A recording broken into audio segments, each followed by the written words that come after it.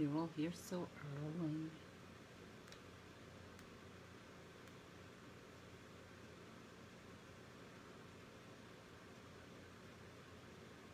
Hi, everybody. Hi, hi, hi. Thank you all for coming. I'll start in a minute.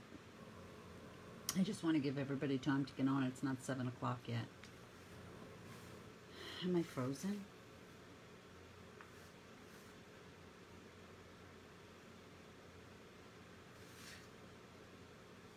No. Okay. I just want to make sure I wasn't frozen. So, I've been hearing from people, and everybody seems to be prepped, which is a wonderful, wonderful thing. Hi, Rochelle. So, that's a good thing. So, we will get through this piece. You will love this piece. Um, for those of you who don't have the wood, you can also put the line drawing, hi Betty, hi Faith, on another surface. Hmm, hi Virginia. So you can put it on another surface and just um, base coat the letters individually. Okay. All right, 701. Do we all need to see my face? Not really, right? We can go right in. I'm so happy you're all here. Thank you. Alright, I'm not going to show you my beautiful face because it's not so beautiful tonight. But at the end of the video, I will. I'll pop on and say, hey. Okay? So here's something I will say. First, thank you all for coming. If you haven't been here with me before, just know that I try to read all the comments. I don't always get to because I'm paying attention to what I'm doing. well, thank you, Kathy. Um, if I don't answer your question, I go back at the end and I read every single one of them and I answer every single one of them. Well, I answer most of them. For everybody that's saying hello, hello. Um, I will answer you. So, I will answer everything for you. Okay? And I'm going to say this. Oh, Colleen, I didn't know you were in Canada. Um, my Merry Christmas on my Facebook page tonight. I will put up the instructions so you can paint it whenever you want. Print them off. Enjoy them. If you are a teacher and you want to teach it, feel free to teach it. I ask that you don't make a profit from it. Donate the money. Um, do it just because you love your students, but have fun with it. All right, so if you normally take notes, you don't have to tonight. I will on my Facebook print. Okay, so let's start. You should be base coated to where I am.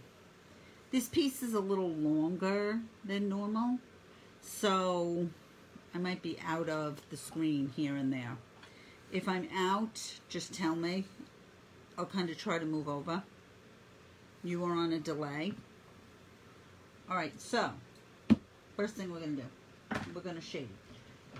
So let's start. You can put out all your colors. We're going to need plantation pine. We're going to need purple rain. If you don't have purple rain, use lavender. You're going to use heritage brick and you're going to use mermaid tail.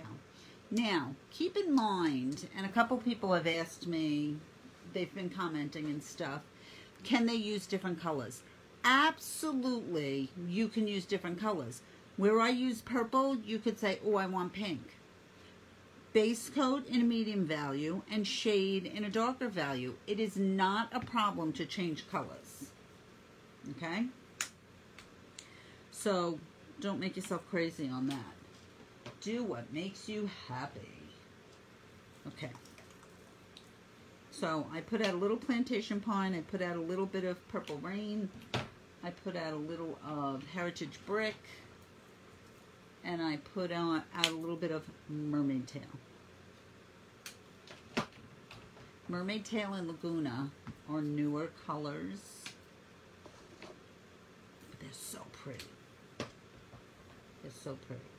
All right, so we're going to take a floating brush. At least, I use a 14 chisel blender, which is a short flat. Um, yes, you can use plum. Yes. Um, the shorter the bristles are, the easier it is to control. So that's a really good thing. So, be it my beginner class, I'm going to go through your floating. When you float, I use scrap paper, I use paper towel, and my brush. So, at the end of the class, I'll show you next week's, uh, next, I'll show you next week's class and I'll show you next month's class. All right, so we wet. When you wet, you will see a shine on your bristles. It might be a little hard to see. This is the fet, the chisel edge of your brush. Um, Patty, one second. This is your ferrule, and this is your handle. Okay, the middle part is your ferrule. So you're going to wet, four steps. Wet, blot, load, blend. You're going to wet. You're going to blot. You're going to blot flat. And you're going to watch the shine go from the chisel edge to the ferrule. As soon as it stops, lift it. Okay, that will leave you with enough moisture in your brush. Okay. Uh, Patty, turquoise could be uniform blue, and it could be um, antique teal. It could be deep midnight blue. That's why I told people turquoise. Turquoise is real easy to have a shading color. So wet, blot, corner load. Now I'm as close to the paint pedal as I can. I try not to be on a diagonal. If I'm on a diagonal, you tend to get a lot of paint across your brush. And then I'm going to blend, and I'm going to blend flat. So small strokes until I have a graduation of color. I am not doing this. This is wrong. Okay? If you see when I do this, all these skip marks are because the water is out of the brush. So you need wet, blot, and if you don't remember that, write that down and say it every time. Okay? Now I'm going to work upside down because I have to. So, wet, blot, corner load, blend. You blend until you have a graduation of color, very small strokes. Now always move your piece so your piece is more comfortable. Don't try to move your hand so your hand is more comfortable. You want your piece to be more comfortable. We're going to shade the right side of each letter. So my paint is towards the right side. Go as far as you can. Now, what I did, this wood is hard. I'm not going to lie. I don't want you doing this. You will have, see those choppy strokes? You don't want that. You want a nice, smooth stroke. Now you can go from bottom to top or top to bottom. In this case, it doesn't matter. If you need to mop, don't move the paint. It's just very lightly up and down. Now, that's all right. But look at the rest of your letter. There's more brights. Okay. Here's a right.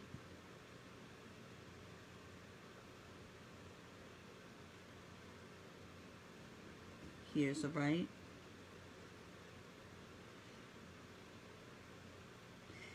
And if you're running out of paint, reload. Wet, blot, load, blend, and start down here again. Okay. And here's a right. Make sure I'm not off.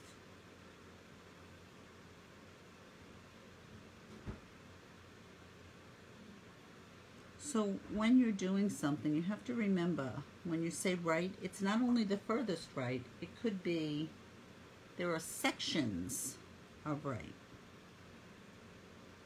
Okay? So, let's put that there. And you should be able to see. So now I've done all my right sections, all my right sides, right, right, right, right. We're going to do the same thing with our E in Purple Rain or Lavender. Either is fine. And if you have any questions, just ask me. I am happy to help you. Usually I'm pretty nice too. Not always. Sometimes. Okay. Now that was too wet. So you see how I have, it's kind of runny? That was because it was too wet. And that's because my paint is very wet. I'm not really sure why. I probably didn't shake it enough. And that's just me being lazy. So, we'll just shake and redo. Okay, so,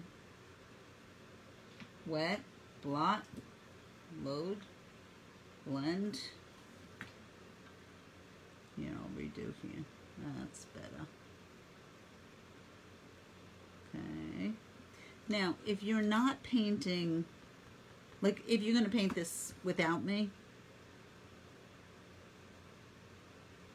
then what I, I do, because I'm lazy, we all know this, I paint, like I'm messy, and then I'll just touch up the letters as I go. But if you're painting with me, so I did the M, and then I base coated the E. And then I did the E and then base coated the R. Because I'm lazy and I don't want to be neat.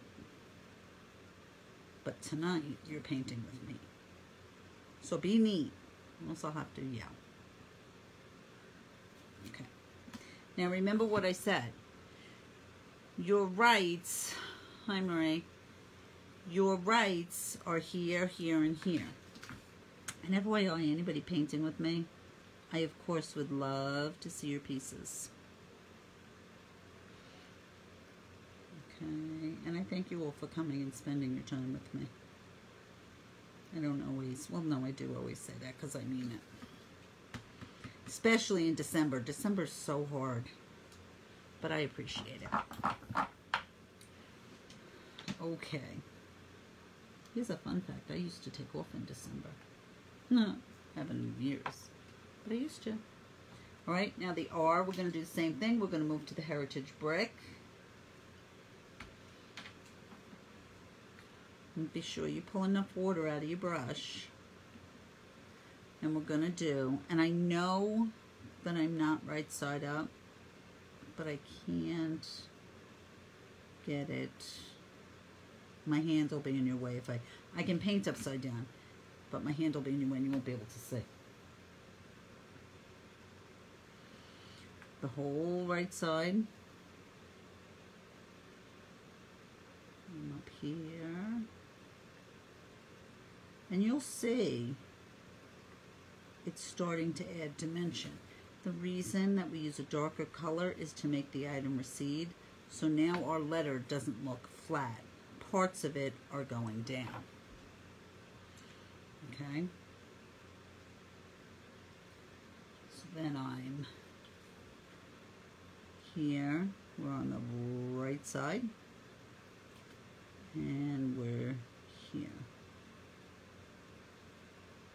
And I always, if you watch what I'm doing, this is floating.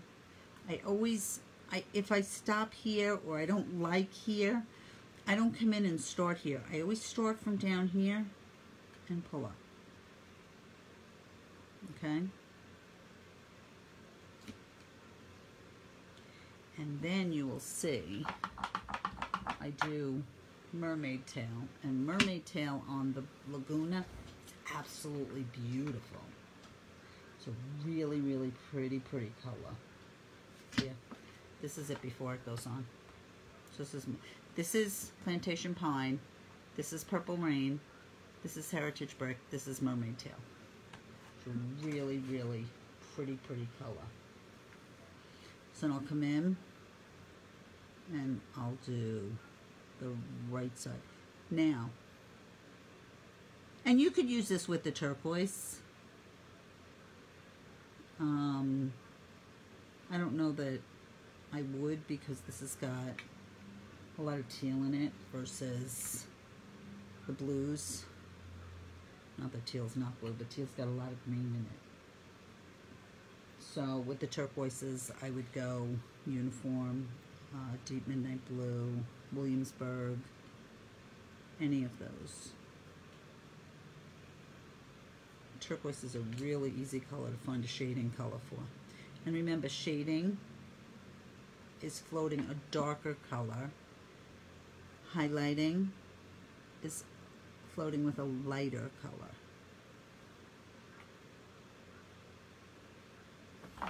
And that's how we create our dimension.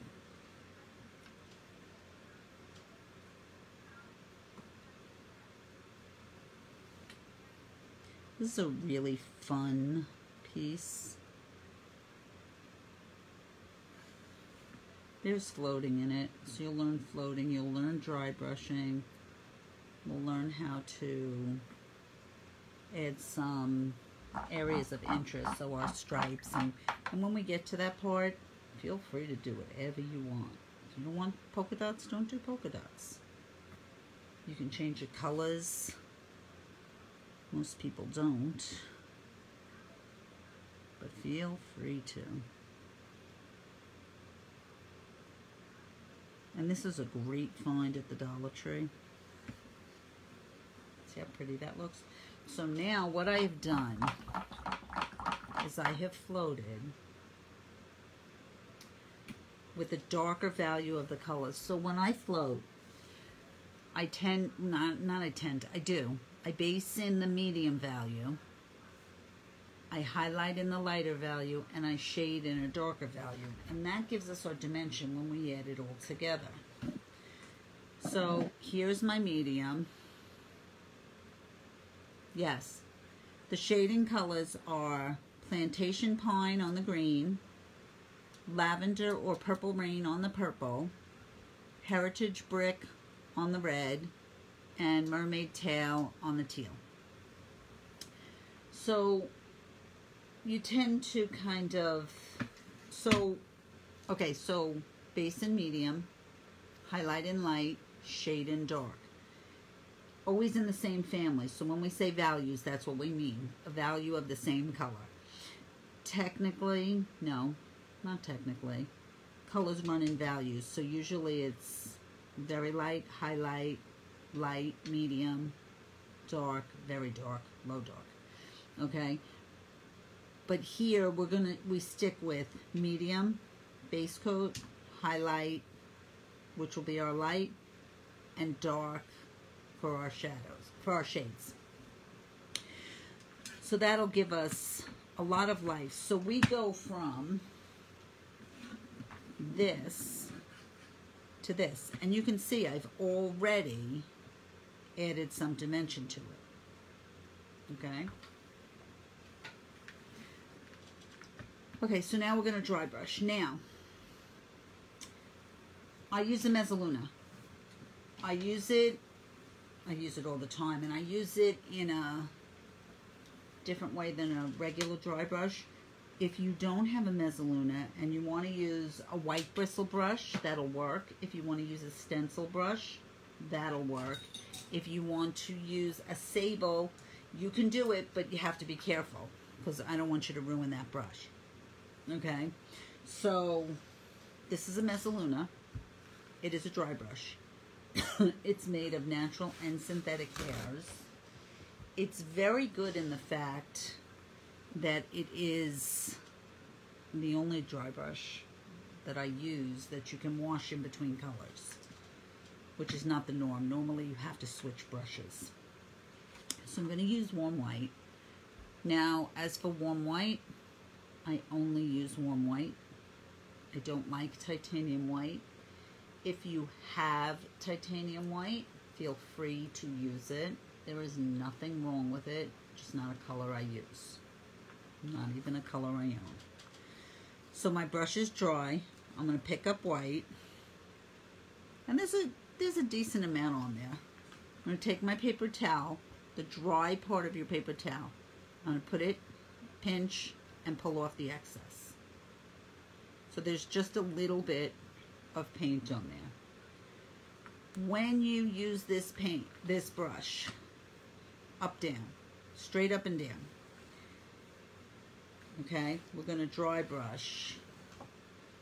Sheesh, this piece is an odd shape. Up and down. I'm on the tips of my bristle. And I'm dry brushing the center. Now, can you see those lines? Let me get some more so you can see them. Okay. There are lines there. See that? Oh yeah, good, you can. I want that. Now normally, when we dry brush, we follow the shape of what we're in. On this piece, I didn't. Like I'm not going to take my brush and go this way and this way and the E this way. Everything is vertical. So I'm here, I'm here, and I'm still vertical. I'm in the center, but see what I'm doing? My strokes are still up and down. Okay? Reload when you need. But my strokes, keep your brush so that top and bottom. It's always facing the top, it's always facing the bottom. It is never on a diagonal on this piece. Okay? Here. And then we're to come here. Going to bump over to my E.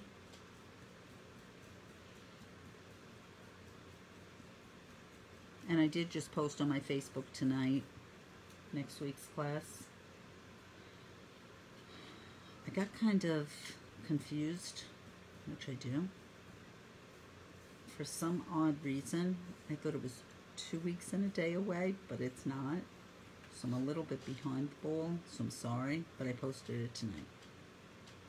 And if you don't have the piece, if you didn't get it at Dollar Tree when I said go get it, because you didn't listen, um, you can trace out uh, Santa. I put the line drawing in the comments. It will stay there until the day of class, and then I take it out of the comments you can just put Santa on anything. It doesn't have to be on the sled. You can put his face on anything. Okay? And remember, um, you see those strokes? They're not following the direction of the letter. They're up and down. They are in the center of each section do not, please do not, make your letters all white. You don't want to you don't want to go from edge to edge because then you don't have a highlight. You've just changed the color of your piece. I want the center of my letters to have the appearance of coming up. Okay, so I'm here.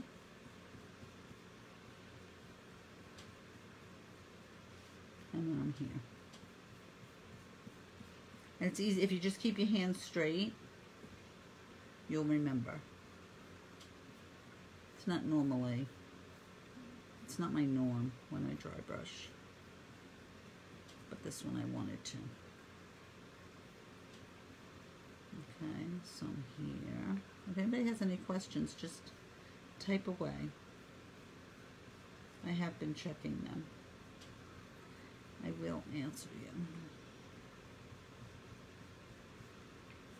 And if I answer you and you don't understand, ask me again and again and again. I am more than happy to answer until you get it. I don't have an issue with that. Okay? So you see what we just did?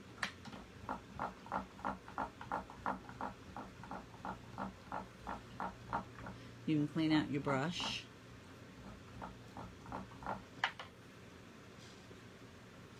and just pinch it dry. Cleaned it with water and now I'm just pinching it dry. We're going to use it again.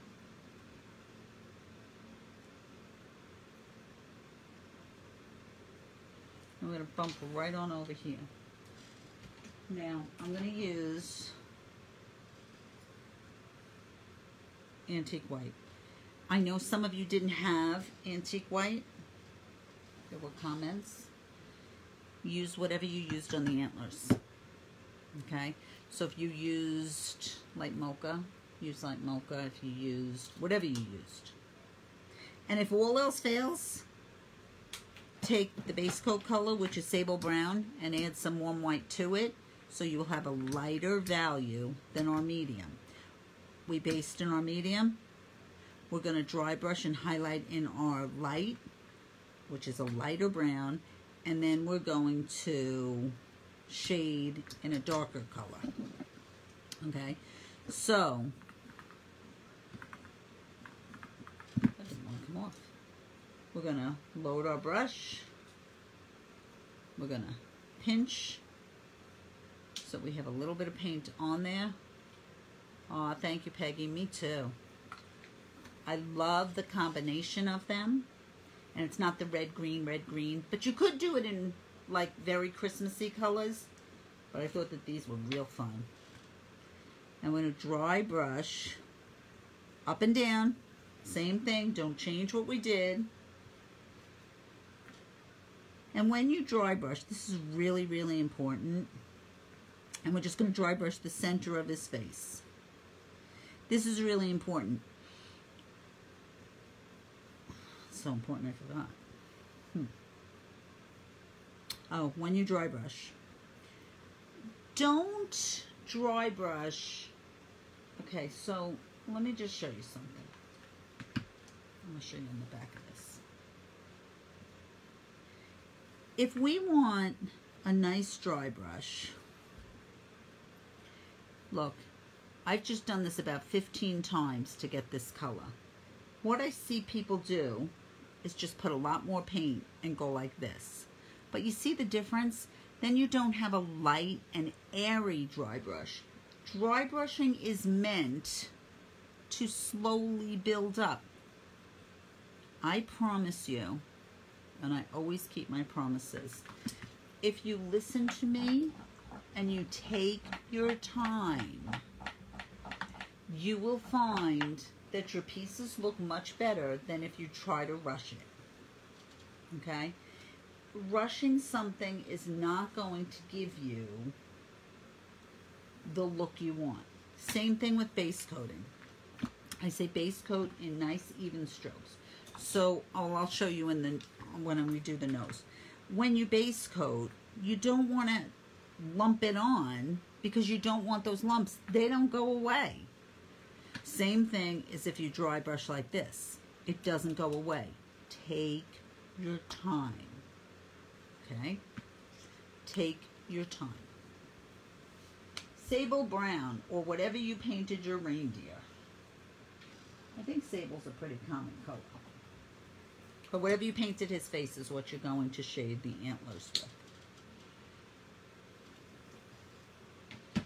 If I'm going too fast for anybody, just tell me. For anybody who's painting with me, I think I'm going okay. But if I'm if I am, just let me know. Okay, so we're going to go back to floating. Wet. Blot. Corner load. Blend. Small strokes. Brush perfectly flat. Remember, all the bristles on all the surface all the time. If you need me to show you something twice, just tell me. I'm going to shade the outside edge of the antlers. Okay. I want to make them rounded. Brush is perfectly flat. Don't do this. If you do this with your brush, you're not going to have a graduation of color. You have to remember the reason we float to create dimension is we want that graduation of color. Okay, that's really, really important. We want to have a graduation of color. Okay? Now we're going to walk away from the antlers for a second. Simply because we need drawing time. Now, when you're floating, if I come in and I float this edge, probably off camera, if I float this edge, I'm going to go here and I'm going to pull this off.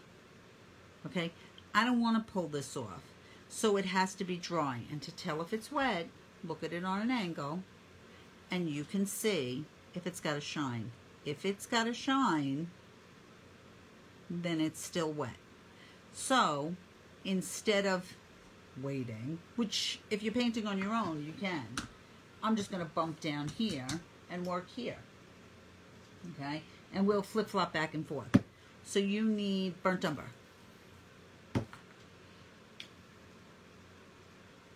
So we're going to go to a darker value of our base coat.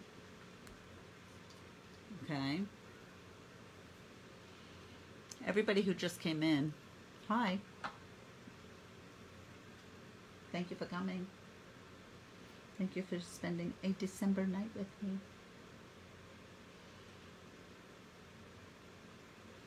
Okay, same thing, wet blot load blend. Now, I want to shade the bottom half of his face. So think of where his cheeks are going to be, about the middle of his face, and that's where I'm going to start my float. And I'm going to come around. If I could see, we'd be okay. I make it so you can see and then I can't see. And we're going to come here. Now, I started here. You should never do that. But I didn't have enough paint. So that's okay if you go back now, reload, because you can see. You see where I stopped and where I started. And then I'll just come in with one float and clean it up. And that's how you fix that. And sometimes you just don't have a choice. The shading on the antlers is sable brown or whatever color you use to base coat your reindeer's face. So when you do a design, okay, from a design standpoint, and this is something you should all know, not the designing part, but you have to pull your colors together. So you don't just randomly throw colors in which some people do, but you, you, you sh really shouldn't. So I don't randomly throw colors in. So my I use my sable here. When I design, when I do my designs on here, I'll use all of these colors to pull it all back together. Okay? So when I dry brushed here, I use the same color here. And it's more to pull your colors together so that your eye doesn't all of a sudden say, oh my goodness, what is that? Okay? It's a normal flow of a design. Okay? And that's really important. Okay, so while this is drying, and I just put my hand in it, we are going to shade the bottom of the ears. The bottom of the ears is where they go into the face. So it's right here. See where they're going into the face? That's what we want. We want to go. So if you drew that line, it's right above that line. And that is going to pull the face up and push the ear behind it. Um, okay, so a good sub for Laguna is peacock teal, if you have mermaid tail. If you don't have mermaid tail, use turquoise.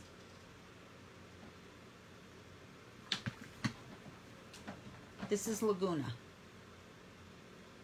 It's a real pretty color. Uh, peacock teal will be on the teal side, which has green in it. And turquoise will have more blue in it. But it'll depend on your shading color. You know what that tells me, Carolyn? That you're not base coated. What? Okay. I have to say I'm very impressed. I had people messaging me and commenting that they were, what's this color and what's this color, so I know everybody was base coating their little hearts out today. So you'll have this piece done for Christmas or for a gift. I have to tell you something. I'm not a dollar store shopper. But when they get these pieces in, they're great for gifts. They're great for teacher gifts. They're great for bus driver gifts. They're great for everything. And they're inexpensive. And nobody would know it. You wouldn't look at that and say, oh, okay. all right, all right. I take it back. Yeah, peacock teal is very close. If not, go to desert turquoise and then um, shade with deep midnight blue or uniform blue. All right, so we shaded here and we shaded here. Now, while that dries, we're going to go back to the sable and we're going to do the tips, just the tips of the, the inside tips of the antlers. It's a little bit wide. And every step you will see, every step we do pulls this together. Okay? Our January piece will be a Dollar Tree surface too. Not February, but January.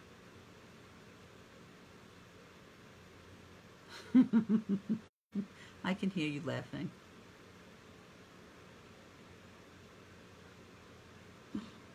Can you see me smiling? You guys all make me so happy. Make my heart happy. Make my paintbrushes happy. I'm very lucky I can do what I love. So now I'm going to look at my piece on an angle because now I'm going to go back to my face and I'm going to this. Oh, Sylvie, I'm sorry you're sick. Feel better.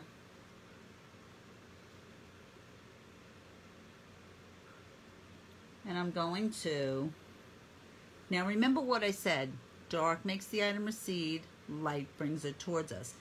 So here is the top of his ear, here, here is the inside of his ear. So I want to push the inside of the ear down. I'm going to float with my paint towards the antlers, the inside of his ears. And you see what I just did? Now he has an inner ear. And it was really just a simple float. So sometimes when you look at things,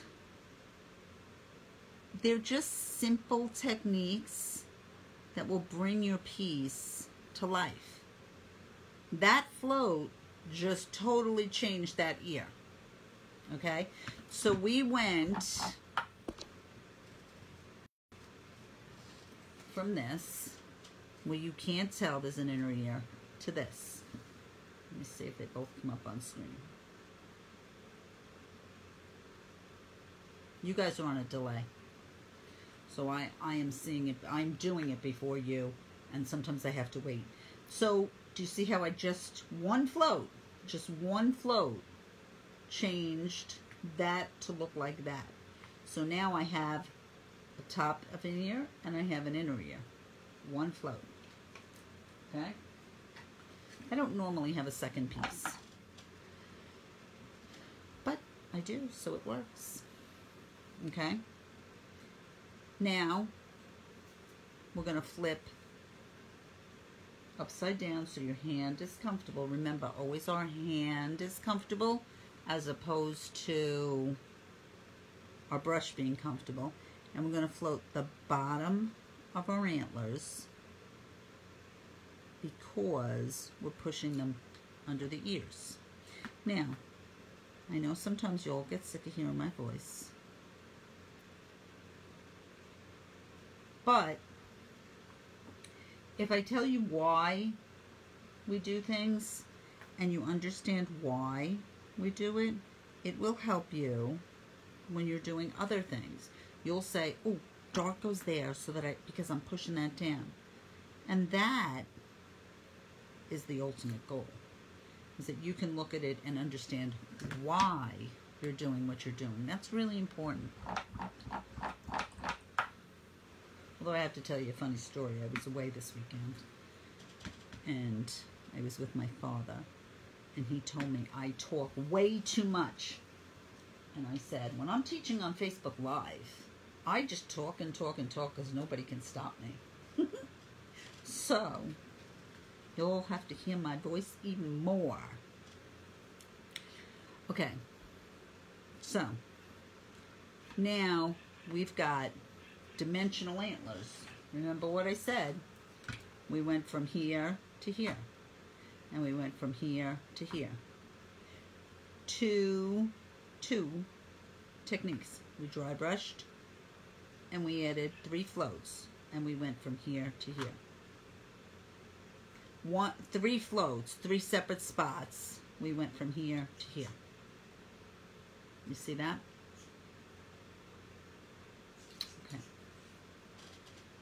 So now we're going to highlight the reindeer with antique white or whatever. Uh, the base of the antlers are highlighted or shaded. Okay, Valerie, they're shaded because we're pushing them down under the ears. So the paint is towards the ear. We're in sable brown and we're shading the bottom of the antlers. Okay. So now we're going to highlight. And if you used graphite versus carbon paper, if you use carbon paper, you're probably going to have a big fat mess. Use graphite and it will erase. Okay. We're going to highlight in antique white, or whatever your antlers are. We're going to highlight the top, paint is up on both of these floats.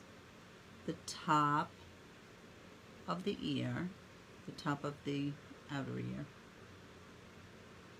the top of the head, just the top of the head. I'm not going down far enough to meet the shading it's just the top of the head. And I would do both ears first because you'll pull this off.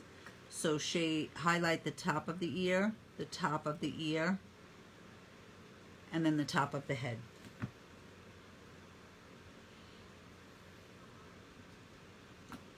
He's really starting to come to life, isn't he? So cute.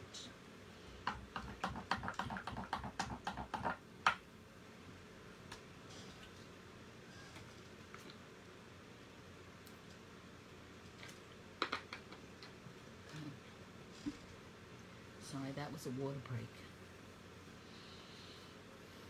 Okay, so let's dry brush some cheeks.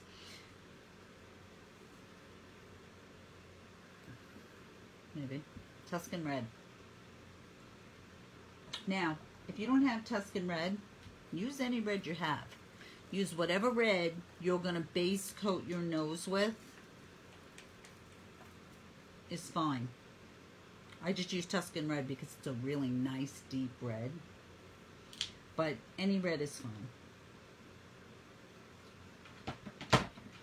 When I dry brush cheeks, I like to use stencil brush. Hmm. Okay, I have a big one. You can use a much smaller one. It might make you feel a little better. Uh, oh, you know what? I have a small one. Mm, no, I don't. Okay. So, I'm going to be really careful. This brush, another really good brush. It's nice and soft. It's synthetic. You can use, excuse me, you can use hand sanitizer in between colors in the middle of a class. I'm going to put a little bit of paint on my brush. And you'll do much better with a smaller one. And scrub. Really scrub. This brush is scrubbable. I am putting pressure, see the pressure on there? And I'm scrubbing till there's almost nothing. If you have this much paint on there, that's what you're gonna get. You're gonna get a really heavy dry brush, which you don't want. Some scrubbing. And then I'm gonna lightly come in. I'm gonna scrub his cheeks. My cheeks will probably be bigger than yours. Do you see that? I'm going to do the other side too. My cheeks will be bigger than yours because my brush is much bigger than yours. We're going to scrub. You see that? Okay. And then I'm going to do the other side. Just make sure they're pretty close in size. And there are my cheeks. Beautiful cheeks. Okay, remember what I said. Nice, light, dry brushing. If when you're painting, you say, oh, that's not dark enough, or oh, I want more, or whatever, fourth coat or fifth coat, do never, it's a new English word, do not ever try to do it in one coat. This is patience. You will get a beautiful dry brush. You can wash your brush. Okay, now we're going to paint some facial features. Lamp black. I don't want you to put your hand in your nose. Lamp black. You only need a little bit. I'm going to give you, I'm going to tell you to use a liner. You'll probably feel better. So you need a liner and like a number two. Now when I paint eyes, I happen to love eyelashes and I love all of that stuff. And take, now when you use a liner,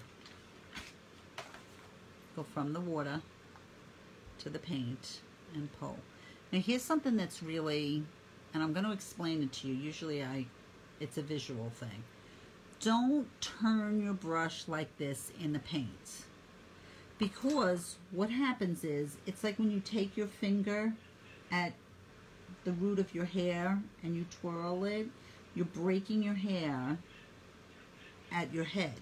If you're doing this and turning in your paint, you're breaking your, br your bristles at the ferrule. You don't want to do that. So if you need to turn, go from your water to your paint, lift and turn, lift and turn, lift and turn, lift and turn. I promise you, if you take care of your brushes, they'll last you a very long time. Okay, you just have to pay attention to how you take care of your brushes. So when I do my eyes, I line I line, maybe. It's not enough water. When my paint's not coming off, there's not enough water in there. Okay, there we go. Line. This brush has really got to go. Okay, hang a minute. I need a different brush. This one is just not doing it. I pulled all the bristles from it. Okay this one. Okay, wet. Then the paint. I line. I come in. And it doesn't matter if you go, in this case, top to bottom. It'll matter when we do our eyelashes, but for right now it doesn't matter. I'm going to line the bottom. I'm going to line the bottom line. And I'm going to line the outside of my eyes. That's how I always do my eyes. And line my eye, and line the side of my eye. I'm going to take a small flat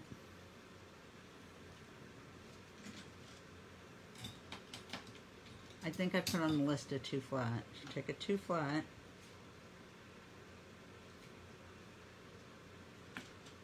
And I'm going to fill it in.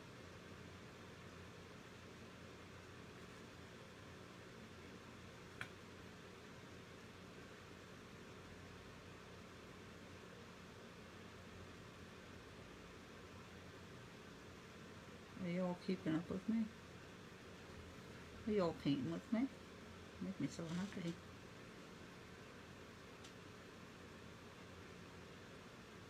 Here. And here. Now, depending on how fast you work, you can reload your liner to do your lashes. Or you can just pull from your paint. I kind of just pull from my paint. So here he has little lashes. Now, where you paint your brush, put your brush, is the heaviest part of your stroke. So pull from the eye. Okay? Now let me just say something. There you go. If you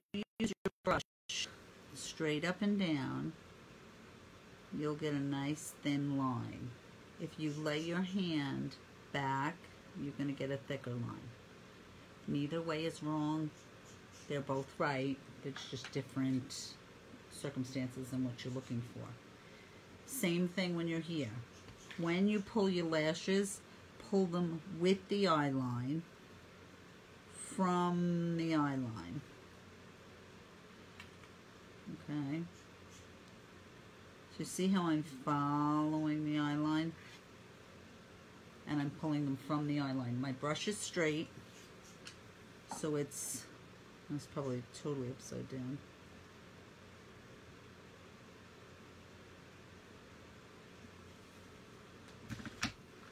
Looks a little weird with that nose, huh? He's getting there. I think this brush is happy. If you have old brushes you don't want, don't throw them away. If you give them to the, not that they can use them now, but if you give them to the teen department at the library, they're so appreciative because they can use them. Or give them to a kid you know, or bring them to the school art department. No matter how old our brushes get and how we don't need them anymore, they work really, really well for the kids. So always, always think, let them do it. Okay. So we have all of this done. We're going to come in, and your nose should be on. Okay? When I do my nose, I have circle template, which I love. And we're going to Oh. No, we're gonna go with this one. And when I do my designs and I and I draw, I always use my circle template because then it, and you'll have it on yours, on your piece, so you don't have to worry about that. We're gonna come in with a small flat, two flat, take your red, whatever red it may be, and I'm thin coats. So you see how thin I am? I'm pulling nice thin coats. I'm not this. Because all those lumps, I don't know if you can see them, all those lumps will stay there forever. They will dry just like that. And you will not be happy. And I will not be happy. Okay. And I want you to be happy. And my nose just lost its circle. I've got this terrible glare on my piece. I can paint a circle. But I have this terrible glare on my piece because I need the lights on so you can see well. So that's why. Okay, so we're going to let that dry because we're going to need another coat. And in the meantime, we're going to start decorating. So keep in mind what I said before. We need to pull all our colors in. So you don't have to do what I do. You just have to do the colors I do. You don't have to do the colors I do on each piece. Like I have green here, you can have green here. But bring all your colors together so that there's a purpose to them. So I use scarlet here. Okay. I use, okay, Patty, I use Tuscan Red. If you don't have Tuscan Red, Santa Red will work, Tomato Red will work. Any red is fine. Don't go to Scarlet. Scarlet, okay, so let me show you the difference. Here is Tuscan Red, here is Scarlet. So you don't want an orange nose. But any red will work. So I have a two flat. And for this, this is so easy and I love this design. I'm just going to come in, lay my brush and pull, lay my brush and pull. I'm just putting little, they're not necessarily squares because I'm not making them perfectly square. And I'm just changing the direction. I'm just moving my brush this way and that way and this way. There's no rhyme or reason to how I lay my brush.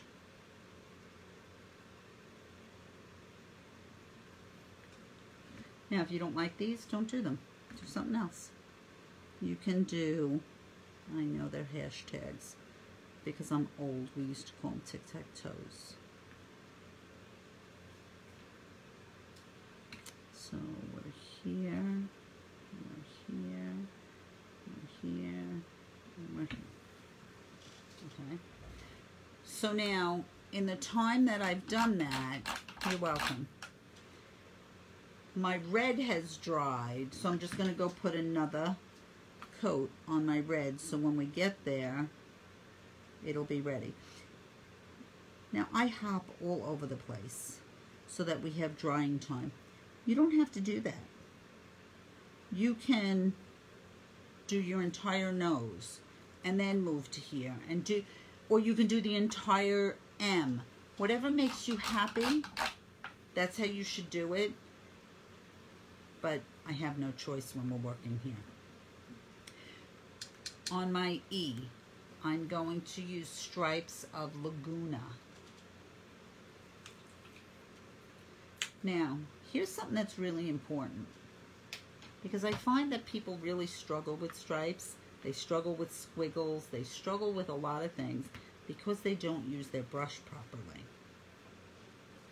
So when people do a stripe, a squiggle, a line, they anchor their hand and they move the brush. So I'm here, use this part of your hand and move your whole hand. So instead of this, I'm doing this and you'll get a much straighter line. Okay, it's a big difference. This doesn't have to be perfectly straight. What color what on the Merry? Diane. So if you need, if you, if you struggle to have, if you mean the M on the Merry Diane, the checks are scarlet.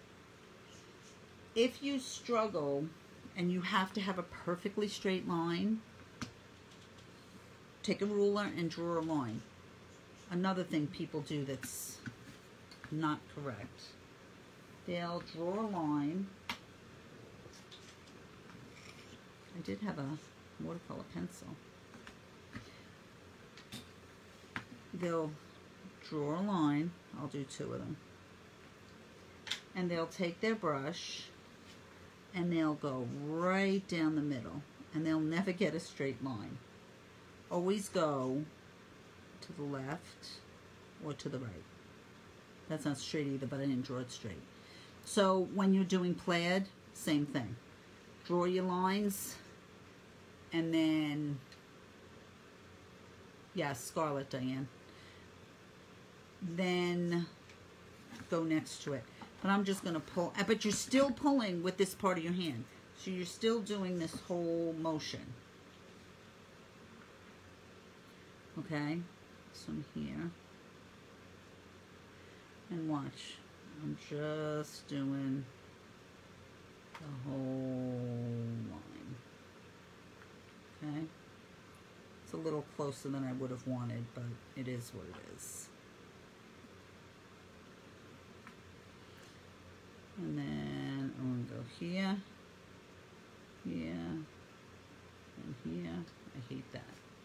So if you do something that you don't like, if you move fast enough, use a Q-tip from the dollar store because they have less cotton and just damp and take it off.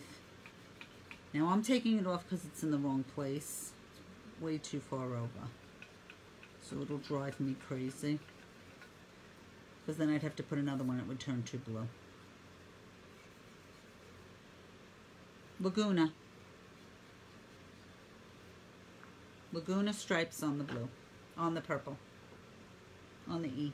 Hmm. Okay, so let's start over here. Here, and I'm pulling, that's better. Okay. There. Now I'm thinning my paint with water. Hi, B.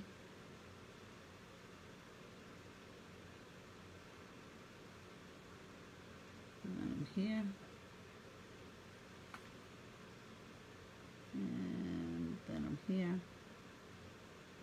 And I'm here. Okay, so I put my stripes in.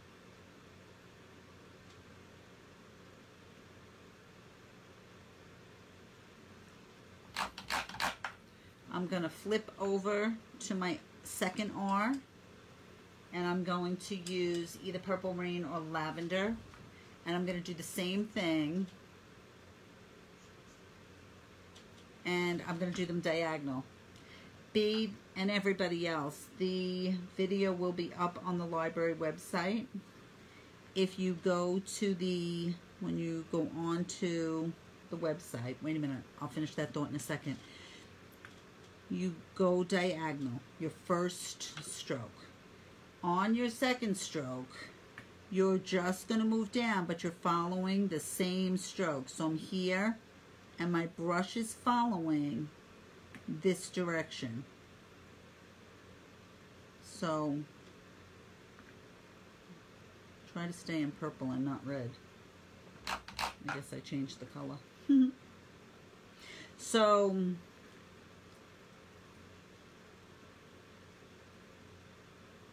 if you go on the library's Facebook page and you go on the, okay, so this is what I'm going to tell you.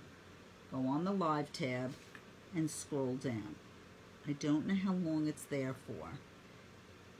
After it's there, at some point, they'll move it under the events tab. Now, I don't know how long they stay. I haven't looked in a while. But as of a little while ago, we've been doing them online since COVID, so since April. And they are all there. So there's two a month that have not been taken off. They've just moved from the live tab to um, the events tab. So that's where it'll be. Okay.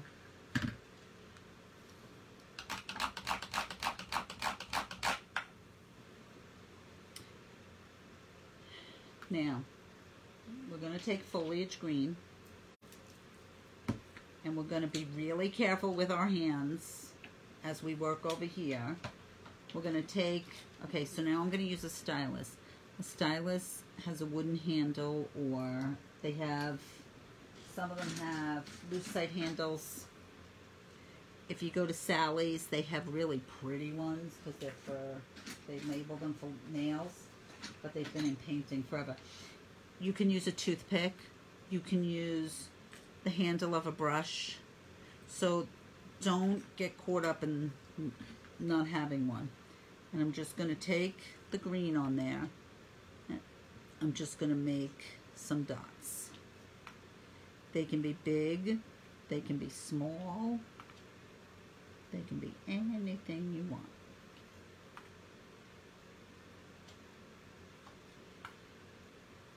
Okay.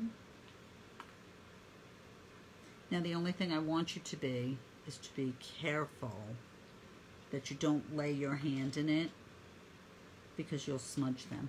And if you smudge them, take a damp Q-tip and take them off. But try not to sponge them, which is why I didn't put them in before we put the stripes in.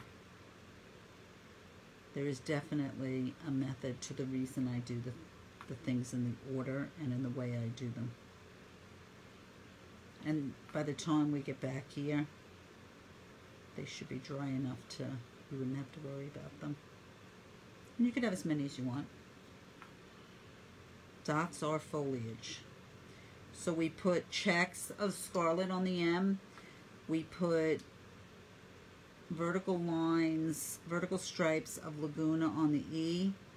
Dots of foliage green on the first door and diagonal stripes of purple rain or lavender on the R. Now, every one of those colors have been used before. The scarlet was used to base the red.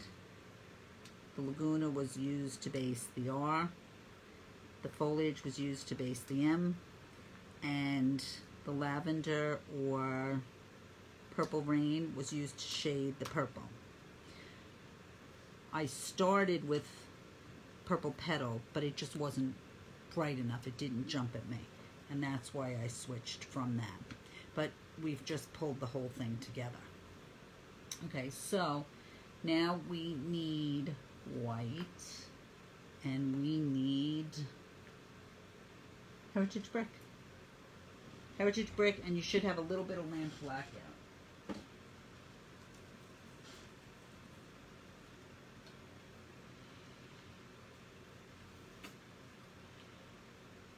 Whoops. Okay. So we are going to float the bottom of the eyes in warm white. Now I stay off the edge of the eye. If you go on the edge of the eye, you can just, with your liner, bring the black back in. So don't worry about that. Come in. Wet, blot, load, blend. And I'm going to do follow the shape of the eye. I'm just going to give it a highlight. And that just changed the whole eye. I'm going to take, okay, so now I want you to see what I'm going to do. I'm going to shade the bottom of the nose. I'm going to put some Heritage Brick on my brush, right on the corner. I'm going to put just a little bit of lamp black on my brush. Can you see that? Just a little. And when I blend, I'm going to blend, Oops. Now when I have this, there's too much water in my brush. So I'm just taking the water end of my brush and dabbing it on the paper towel and then blending. Okay? So I'll come in now if it's too black, add more red. And I'm going to float the bottom of my nose. I am touching the bottom of my nose. I don't want to leave an area.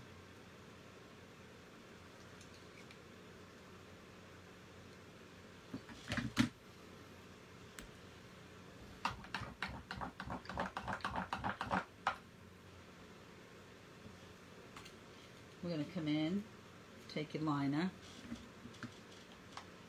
and we're going to smudge shine.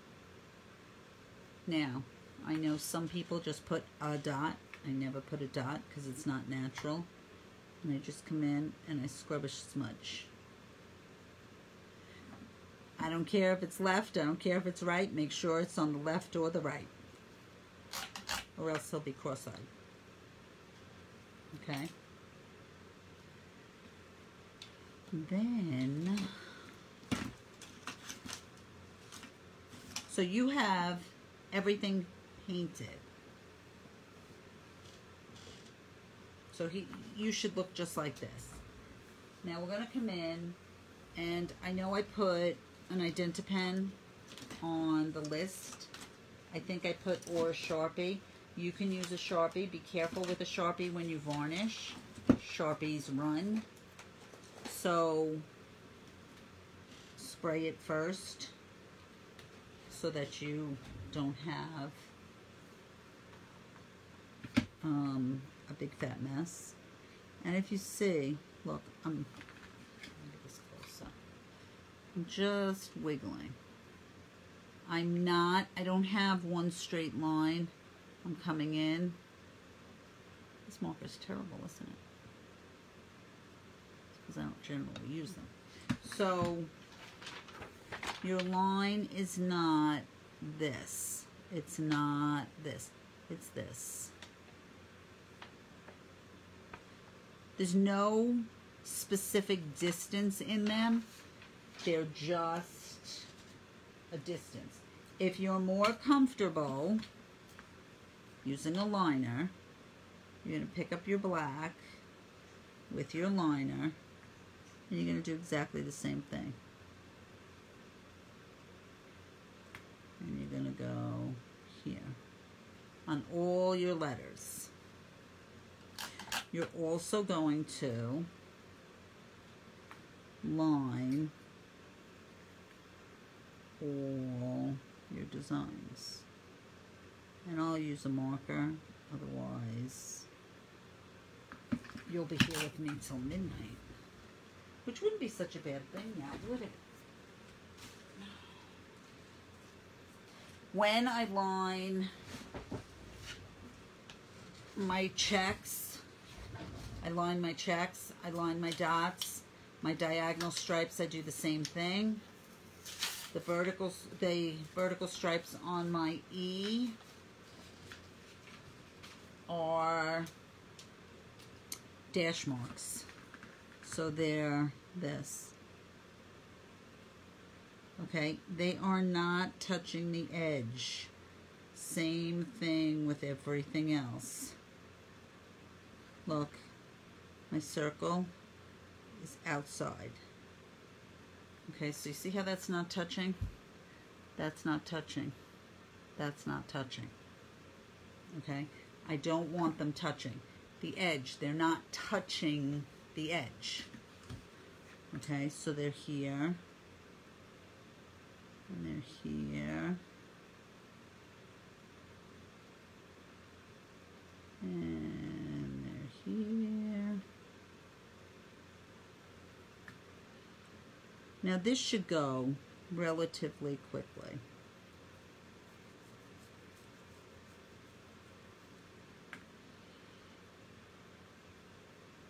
Okay. And we're here till 8.30, so we're okay. All we have left is to add some sparkle to his nose. And I'll show you, I know, liquid glass is not easy to find. But I'll do the nose and I'll show you the liquid glass on the nose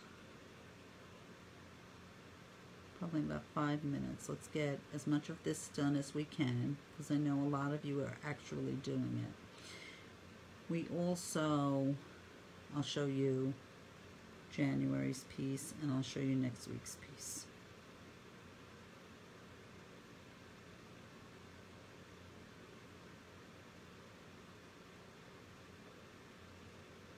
And I'll probably put February's piece up. Not yet, but early enough so that you can order the surface if you want because it's a newly designed piece and it's great for um, on the surface it, it's a cutout. You see, I'm just kind of, I'm not thinking about it. And that's what makes this so much fun. But you're just not thinking about it.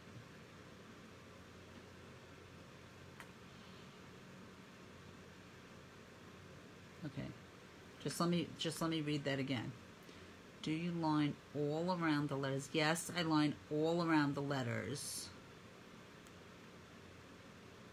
Or underneath. No. Every edge of all the letters. So even if it's falling underneath. So here, this is very obvious. I'm still here, but I'm not right on the edge so that when I do here, can you see that, Patty? And everybody else? I'm still lining it. Okay. I know it's a tough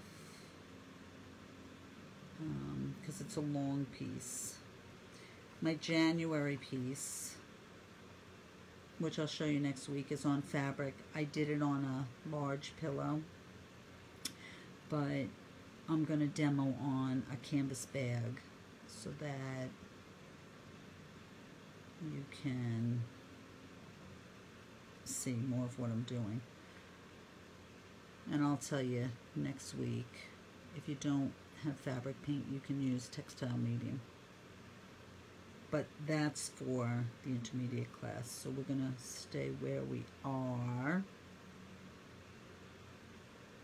which is bizarre for me. Because, you know, my mind wanders all over the place. I think 20 steps ahead. And you see what I'm doing? And every little step you do will just bring him to life. This is a fun, I don't make myself too crazy. This is a step you can do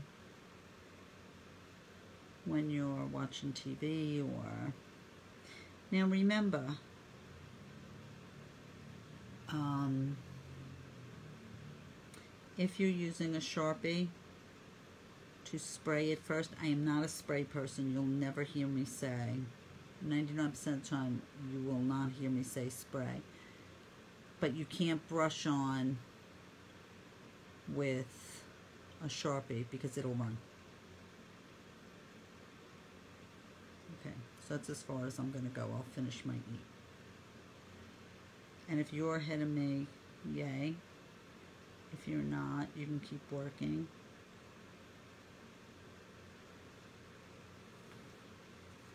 That I just want to be able to get.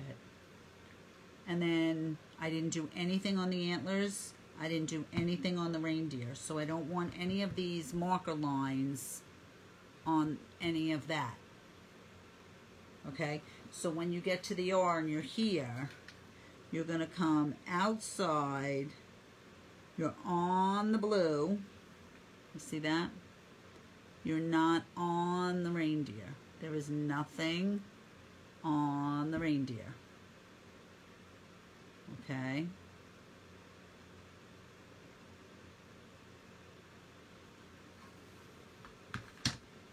Okay, so now on his nose, I used maybe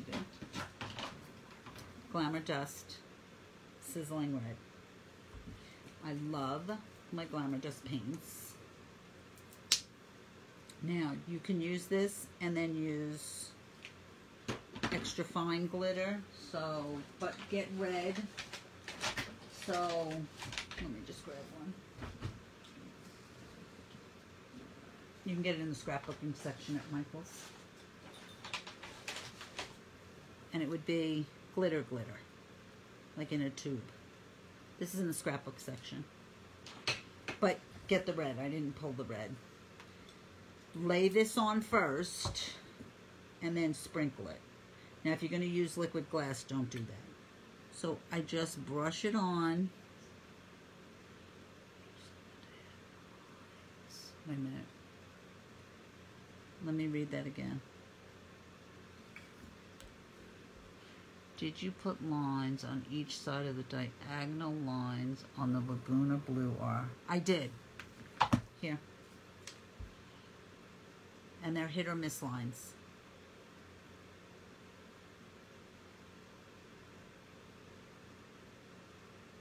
Okay.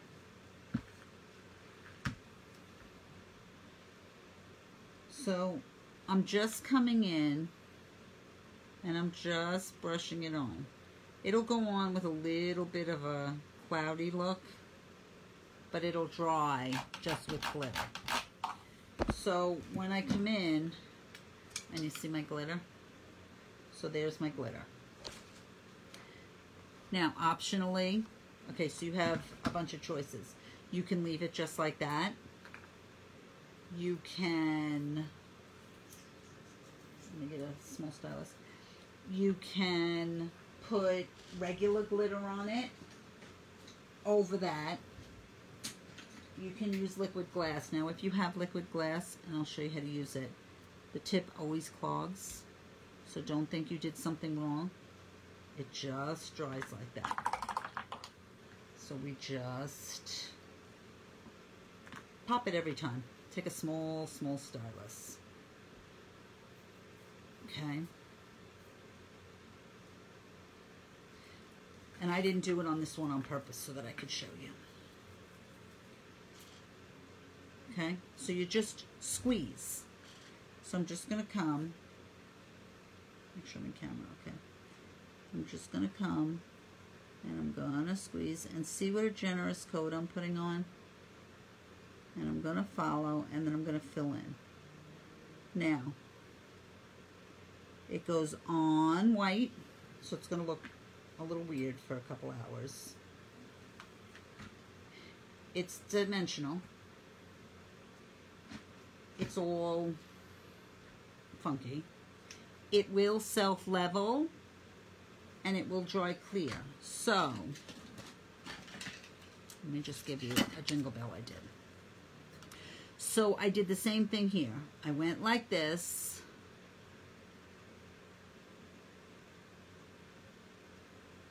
Okay, wait a minute. I'll answer both of your questions in a minute. So I did this, but then it self-leveled and it dried clear. So you, I don't know if you can see the dimension. And it dried clear. Okay, that's what this will do. Totally optional, up to you. All right.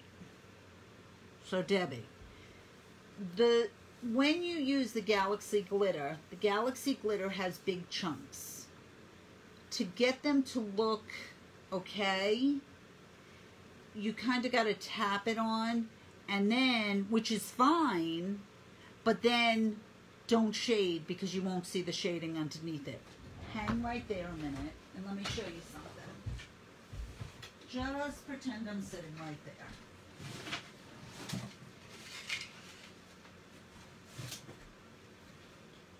So when you use Galaxy glitter instead of Glamour Dust. This is the effect you'll get. Okay? But you see, you won't see the shading here. So you'll have the heavier glitter, which is fine. You can use that. That's very pretty. All right, now Jessica, I definitely want to start doing this. What kind of paint do I need? I use acrylic paint. I use DecoArt acrylic paints. We paint twice a month. Right now, we're on the library's Facebook page until we're back in person. We've been here for almost a year. So, welcome. come paint with us. Any questions you have, comment, pop off a message to the library. They will get in touch with me and I will be happy to answer. Or send me a direct message. I'm happy to answer. When I go back in and comment after class, for some reason I come up at the library as the library. I don't know how to change that, but it's me. I am doing the answering. So any questions you have, I will answer you. Um, you're welcome. Patty, can you use red glamour dust and liquid glass over that? Yes, that's what I did. But the red glamour dust is liquid. Okay? Though they don't have red um, ultrafine glitter. They have they have gold and clear. Okay? You can get in the scrapbook section ultrafine, it's dry glitter. The answer to liquid glass over that is no. Because it kind of flakes off. Can I show you what again? I'm having trouble with the ears. What's my name? He's so cute. my name is Linda. That was cute. The ears. dark here, dark here, dark here, dark here, light here, light here. Okay? And I did do the red here. So that's what I used for this. All right, so now I'm going to show you next week's. Now, next week is intermediate, so I will quickly go over floating. I will not go over floating. You need a rake. This is our piece, dollar store piece again. Okay, liquid glass, a lot of people are out of it. Maureen Baker sells it. DecoArt sells it. Um, I don't know if they have it though. But it could be, you could do it six months from now. And your piece will still look finished. So don't worry about that. And once they have it in stock, I'm not kidding, buy it because it's like the best thing. I use it all the time. And that's how I know nobody has it because my students keep telling me they don't have it. Every class I give, they tell me that. So here's your piece. I did not fill in the wood slots. Here is the piece where I added a piece of boa and I filled in the wood slots. Um, I don't have, oh yes I do. This is what it looks like at the dollar store. Okay, and this is what we're going to make him look like. All right, so you can do it either way, up to you. Okay, I don't like these lines in it. It drives me crazy, but that's a personal thing. People like them. So you can do that. January, since I'm sending you all to the dollar store anyway, hope they have it. Listen, if they don't have it, don't keep messaging me they don't have it. Because I have no control over what they have and what they don't have. Ask them. See if you can get some friends and order it together. They sell them online in bulk. Or just do it on something else. Okay, so this is January. This is their plain Let It Snow piece. I used a one and a half inch disc and a two and a half inch wooden disc.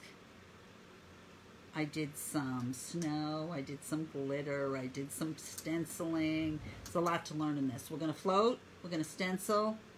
I added, I used gesso, is what I actually used. I used Deco Arts gesso for the snow, and then I glittered it and we're going to play with that. I'll show you how to get these lines right. So this is January for our beginner class. That class is, who knows when. I'll tell you when it is. You're probably going to get really mad, but January 28th. It's a long time away. So that's January. All right, I'll pop you around. You can see my beautiful painting face. Oh, maybe not. Rotate your phone. You can't turn your phone while recording. Okay, wait, let's see. Ah, there I am. All right, so I just want to say Merry Christmas. Next week's class is Tuesday. So it's Tuesday and it's this, the Santa. I want to say, if I don't see you, have a very Merry Christmas. Thank you all for being with me. If you need me, you'll know where to get me.